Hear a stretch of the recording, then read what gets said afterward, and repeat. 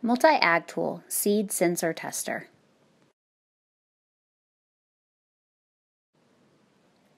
First, turn on the Multi-Ag Tool. Select Sensor Test.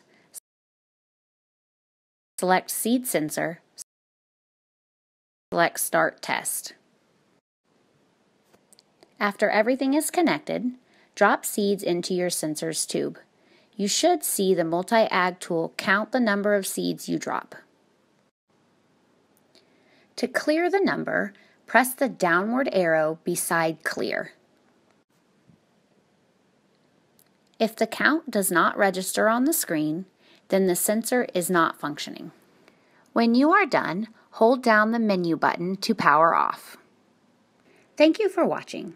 If you would like to order any of our products, please visit www.sensor-one.com or call us toll free at 1 800 736 7671.